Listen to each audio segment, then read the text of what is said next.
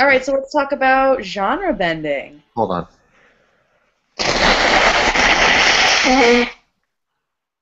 Awesome. Can that just be the, the video this week? Yeah, Just cut everything else out. being fucking disgusting. I'm really sorry. I feel like God.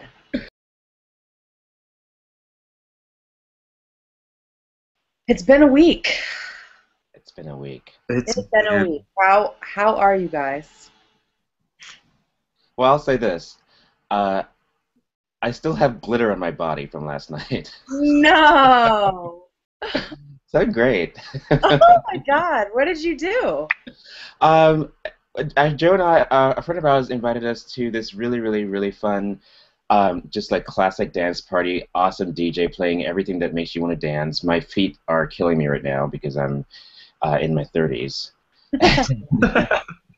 Um, but we had such a great time. Uh, there was a lot of glitter. I don't know what you know. The thing about glitter is you never know where it comes from. You just wake wake up the next morning, you're like, oh great, there's glitter everywhere. Um, gift that keeps on Which is why I'm saving you from my bloodshot eyes this morning. So um, you know, you're welcome. You're welcome. my God. How about you, Zachy? What'd you do this week? Um, well, I th- uh, I started out the week with um, no, I've been having an earache in my right ear for Sorry. um What? the past week. Now I get like really bad earaches usually like once a year, and they're really really painful. And usually I just go to the doctor and they take that huge syringe and they just like pump water in my ear. Um, and this time, has that? Have you guys never done that? It's horrible. It hurts so bad.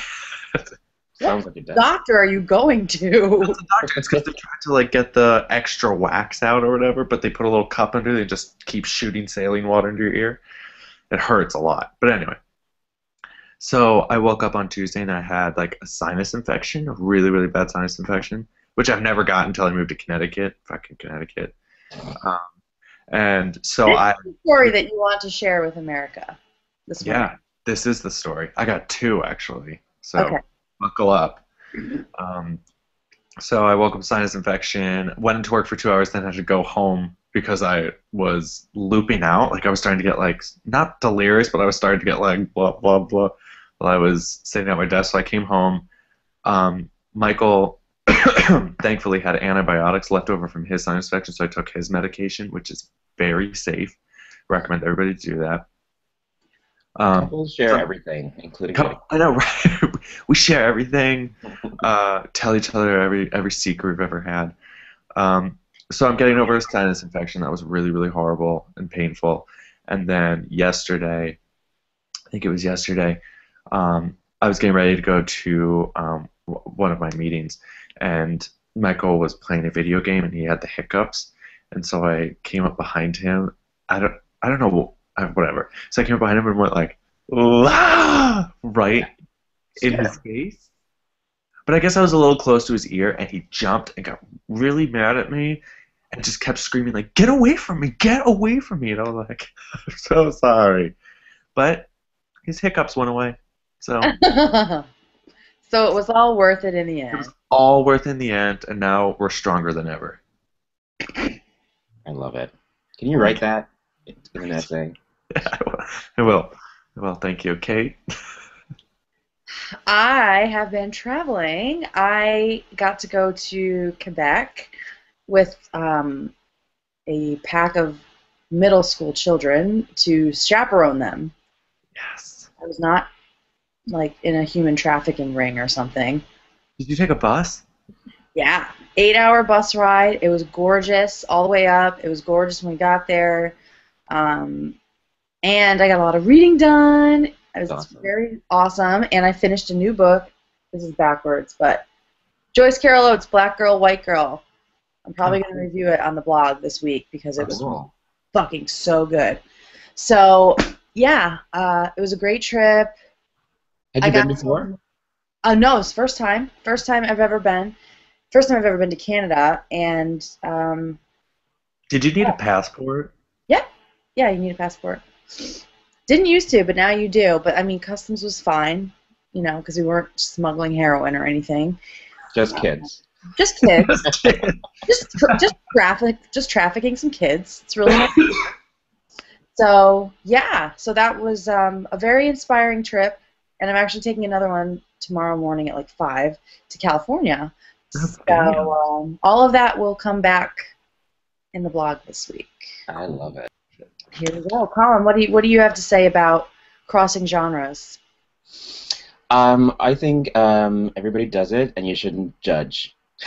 oh, um, and done. well, I, um, I, I think it's, it's it's a really really great topic for anybody, any writer to consider. I mean, and, and, and the idea is, you know, not to pigeonhole yourself into, you know, saying like I'm a fiction writer, I'm a novel writer, short stories, essays, poems, uh, to see it kind of like as a continuous spectrum that you know you can um, dive into and out of at, at different points in the spectrum.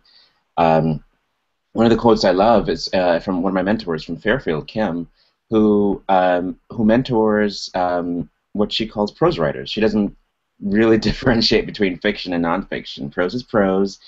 Um, you know, if you're writing a nonfiction story, if, even if it's like a if it's more narrative or more essayistic, it often has to follow some of the same narrative rules as fiction. Um, and even if you're writing fiction, if it's if it's about you know realistic people, um, those people have to seem real, even if they're made up. So it, it's kind of like you know just different sides of the same co- coin to me. Yeah. Yeah, no, absolutely. And um, for me, when I was thinking about this topic, I was thinking about authors that sort of cross genre, but I was also thinking about the way I use different genres in my life, I guess. And I used to write really shitty poetry, so I guess Zach and I have that. in common. that one. um, but I still do. but now when I'm having, because you know I write pretty much exclusively fiction unless I'm doing like blog stuff.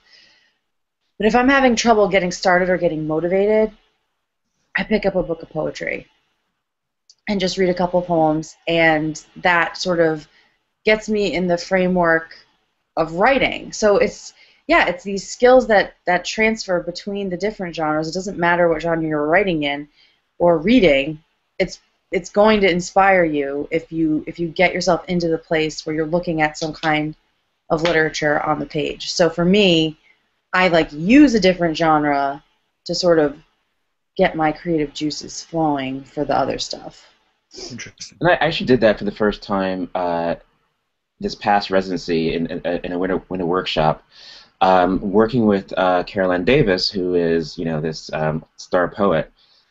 Um, working through an essay that had kind of stymied me at the end. You know, I, I, I sort of knew what it was about. I knew how to approach it, but I didn't know how to end it. And uh, she suggested, "Why don't you just write the ending as a poem?" And I thought, well, because it's an essay. but uh, I did, and it was oh my gosh, I can't even tell you how helpful it was. It, I think that um, yeah, I think poet. I mean, I'm not. I don't want to speak for everybody, but for me, poetry can be a little intimidating. Um, you know, because it's it's this sort of um, often elevated language and uh, and really a different um, sort of uh, protocol of thinking. You don't think in the same way as, as, as you do in prose.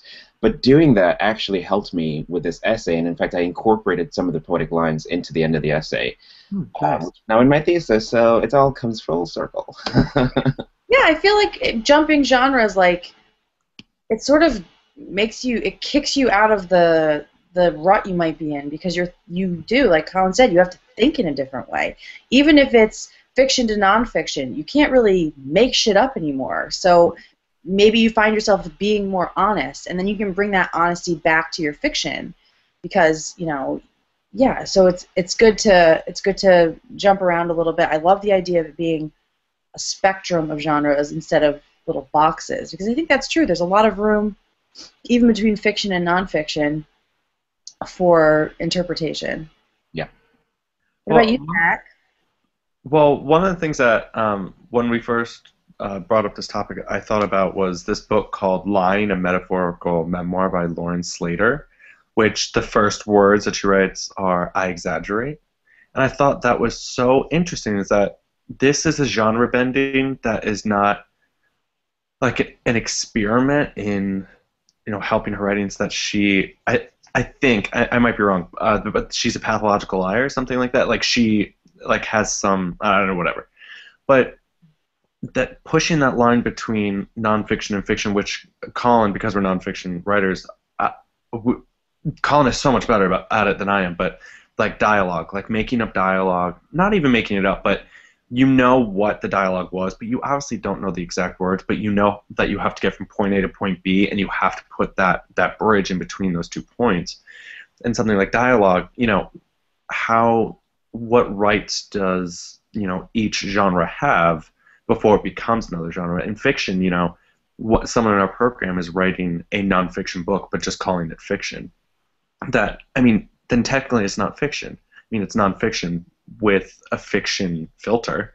So it's it's that type of I think that that type of genre bending that I, I find really interesting because it's it it's almost not it's not intentional. It, it's not meant yeah it's not it's not meant to help the author or or students or whatever you know experiment with the writing. That it, it's more of you know, what else could they do? Like this is what they're supposed to be doing with the writing. Well, and that's a great point. I think you, what you're what you're saying is that it's it's actually built into it. You right. know, um, when you write fiction uh, and somebody tells you this character isn't believable, you can't tell them, well, I made him up. It doesn't matter if you made him up. He has he has to be real. Right. right. Um, and um, the thing that helps me, uh, Zach, w- when I write nonfiction, you know, with like stuff like creating dialogue and so on, is just keeping in mind, um, and I had to kind of like learn this and get into this room of, of mine, that the minute you write anything down on the page that's nonfiction, the minute you create yourself as a character, you're engaging in artifice. So yes, there's kind of a open question of you know how much artifice you can engage in when you write nonfiction. You do have a contract with, with the reader. Um, but I think Lauren Slater is such a great example because um, that contract to me um, whether it's fiction or nonfiction or even poetry, um, all it says is I'm going to be straight up with you. Okay, mm-hmm. so even if I'm calling this nonfiction, I'm going to tell you that I made I made parts of it up.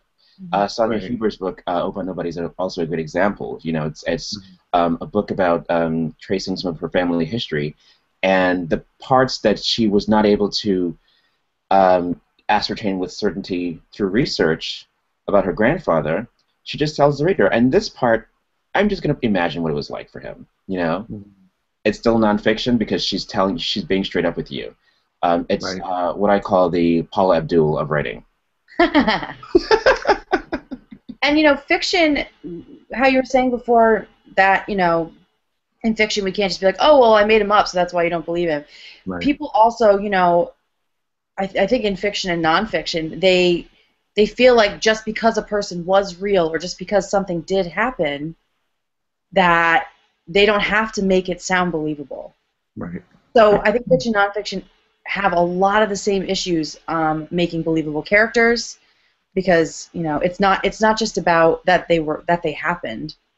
Mm-hmm. It's about are they believable on the page? You have to make them believable and relatable and dialogue because Zach, you were talking about how you have an issue getting like you know where the dialogue is supposed to get people. You know where the dialogue is supposed to motivate the story, but mm-hmm. getting point A to point B because you don't really remember all the words or whatever or how much license you can take, that can be triggered. It's the same thing for fiction. Right. Like as you were saying that, I'm thinking, yeah, dialogue is really hard to write because yeah, to write. because you have to get a story. There's a you don't just have dialogue for no reason. Mm-hmm. So when you have dialogue, you have to get people from point A to point B. You know what needs to be in the conversation, mm-hmm. but you have to make it good and right. readable and cut the stuff that doesn't matter and highlight the stuff that does. So it's yeah, well, that's what I, I, do that every fucking time in dialogue where I'll be talking about a conversation with like my mom or something, and I'll say, you know, like, "How are you? I'm good. Okay, okay." Like I don't need that shit, but I put it in, like it happened, and, it, and, and sometimes you do need it. Sometimes it is uh, just a way of saying, "Wow, this is a really ordinary, uh, right. unremarkable conversation," and you know, mm-hmm. you're showing that. Right. Yeah, so yeah, I think the skills transfer, and mm-hmm. If you can get outside of your genre and try something different, like um, like Hala Seaman's book that I just I read for the blog and reviewed. I've never really read a YA book before. Right. And it was a completely different experience, but it was still a great book. It was it was a great story, and I had sort of written off YA, but it, it's just so good to get outside your genre and get outside the the boxes you kind of create for yourself because it's all writing, it's all creativity, and it can all um, influence your work. So don't sell yourself short as a one genre, one trick pony. People. Right. Well, I think also another, uh, another just so we can kind of bring poetry in here too, because I didn't talk about it at all. But Yeah, we, there's a really great. Like- Um, we need a poet up in here. But anyway. right. I'm. T- I will not take that crown. um, but one of the when I was you know doing poetry in the program for the semester and a half I was doing it. Uh, one of the books Bill Patrick uh, gave to me was The Ghost Soldier by James Tate, which is a it's to me it's it's prose poetry. So it's it's all prose, but it's poems, and it's it's absolutely wonderful. But I, what I think I more want to concentrate on is with poems, at least to me, when I'm reading a poem, I my immediate um, assumption is that it's nonfiction, that it's true poetry, and that like I I would love to find poems that are nonfiction and fiction. That it's excuse me. I think it's actually kind of strange that we do nonfiction, fiction, and poetry because it shouldn't be prose and then poetry or prose. But you know what I mean? That it's like poetry can be Absolutely. nonfiction and fiction. Absolutely. Yeah. Sure. And you know the idea of when people when people hear or you know say I'm, I'm writing a memoir, I'm reading a memoir, you assume it's prose. Mhm. Um, but I think Bill, Bill himself, has written a memoir in in poetry. we or- didn't come here for this. Yeah. So it's I, I think great example. Yeah. Yeah, and prose poetry, great example of genre bending. Mhm. Yep. You look at it, it looks like a paragraph, but then you read it and you know that it's not a normal paragraph. And I think that's prose poetry is a great way for people like us who write prose Mhm. to learn how to infuse our writing with the the lyricism of poetry Mhm. because those are not normal paragraphs when you read those. Right. Um, Lindsay, one of the editors for Spry, um, she her poet her poetry. I loved her poetry because it's prose, but she has this really cool like song and beat Mhm. and like it's almost like slam poetry that she kind of like hits like a lot of different genres and that i always found really intriguing and really interesting because it wasn't i mean i, I love regular regular poetry meaning where you know it's a b rhymes and you know two two stanzas things like that. Um, but hers was just really really kind of this like frankenstein's monster of poetry and it was awesome. It was always so good. Um, and i think that i i, I feel that it's we're coming to more of that type of writing in you know the writing world is that it's not really black and white anymore poetry nonfiction fiction that we're really getting into like the visual text blog i did those are becoming really big and Mhm. you know doing the prose poetry doing um, like uh, what colin did on the end of his essay like poem in the end of uh, of an essay like that that's not becoming extinct i think that's that's so Yeah, I mean, because you know, Kay talked about like putting ourselves in boxes. I mean, I think a lot of those boxes are created artificially, uh, you know, just to sell books most of the time.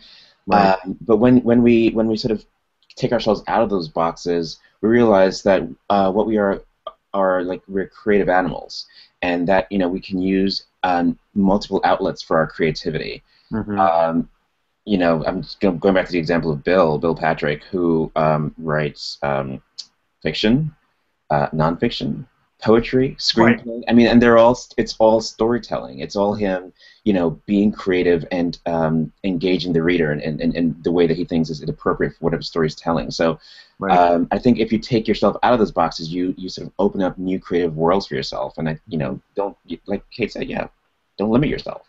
Yeah, and I, I love that that's happening now, and I love that genre is becoming a spectrum and not a series of boxes. So get out there and try something different, people. You know, and and that's the great thing. You can just try and and fail, as Colin said in his blog, and you know you might learn something new. You might learn a better way to phrase a sentence, or you may find you're really good at a different genre. Don't limit Mhm. yourself because now the world is exploding with hybrid literature and um, new genres that I mean everything's accelerating with the internet. So I we're seeing new genres and new combinations of genres, and people just aren't scared to try things, you know. And it's great. It's wonderful. Yeah. So take a risk, y'all. Take a take a risk. Just do it. That should Yeah. be a slogan. Are we allowed to say that? Is that taken? That should be our slogan. Just do it. It is now. I just copyrighted I it. got it.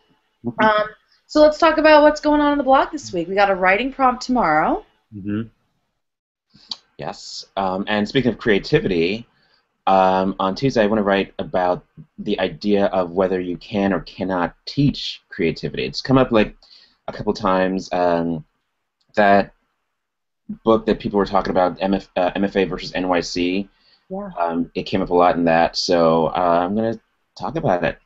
So Great. read about it. Great. And then on Wednesday, because I'm a world traveler, I'm going to talk about setting in a story. And then on Thursday, I'm going to talk about um, writing someone else's story. Whether um, I'll leave it there because I need to make sure I have everything for that blog post before I start rattling off about it. Yeah. And then Friday we'll have Story's great. Friday we'll have a wrap up, maybe a book review, and then Saturday we'll We'll try to get another guest blog, maybe. Yes. yes. Yeah, Sam's blog was so awesome. Thank you, Sam. Yes, Thank thank you, Sam. And if Well you'd like said. to write for us, Yeah. let us know. Boy, Sam, we're waiting for you. Boy, Sam, yeah. We're, we're, we're going to hook that up this summer, I promise. Or we could do Abby Cleland. She has another movie coming out. Does she really? Yeah. All right. All right, you look mad about it. I am mad about it. You super jelly? Yeah, because I want her money. I'm just jelly of her. I want her hair. Am I right? I want her hair. I want to just. I. It's gonna sound I bad. to I want to like her. No, whatever you cut it off and put it in a plastic bag and p- sleep with it. Colin, whatever you say about her hair is not as weird as what Zach and I have said because I said I wanted to twirl it on a fork and eat it like spaghetti. Yeah. Doesn't it? It looks like delicious spaghetti. That's like such good spaghetti. Hi, Abby. I know we love watching. your hair and Love your hair. hair and your movies. And So her great And makeup. you. you should come in, and you, of course. We sh- you should come and Oh write. yeah, we like you too. I love that brain under that beautiful head of spaghetti hair. Do you think she comes at like Marcia Brady where she goes like 98, 99? No, I hope she combs it with a dingle hopper. No, I think she wakes up and sings Beyonce. I woke up like this. I woke up like. Anyway. All right, we are so off topic. All right, so Love. Saturday, hopefully we'll have a blog post. Facebook, Twitter. Yes, share us. Instagram. Facebook, Um, my dad. What I talked to my dad this week, and um, he said, "I fuck. What was I saying? Something about like I always say like follow us or something. It's like, oh, you should totally get people to like follow you on Instagram or something." And I was like, "Funny you should say that." Colin says that every episode, every We single don't episode. have Instagram. they should follow us on Instagram. Well, we have Instagrams, I'm, and I'll post that on underneath the blog. Each of us have an Instagram, I think. I haven't used mine for about three years. They don't really use theirs, but I use mine, so I'll share mine. Mine is, I'll uh, share mine is not safe for work. Okay, Colin's NSFW. All right, So, yes, follow us on on uh, like us on Facebook, follow us on Twitter. Mhm. I will post our Instagrams because Colin keeps saying it, so I might as well do it. Um, I've been peer pressured into making us share our Instagrams. So and Pinterest, you have to pin us. yes, pin us on Pinterest. Oh my God, we're so ridiculous. And All right, Abby, send us your hair. Damn it. Abby, Abby Cleland, send us a bag of your hair. Oh God, this is just going off the rails. We need to end this. Okay. Have a great We'll edit week, that part out, right, Kate? What? We'll edit that part out. No. You know, I always say that, and I leave in the ridiculous shit. So I'm not going to make any promises about editing that out. All right, everybody, have Zach's dying. Have a great week. Abby, send us your hair. Cheers. Cheers, everybody, and we'll see you next Sunday for another ridiculous episode of It's Just Brunch. Cheers. Cheers. Bye.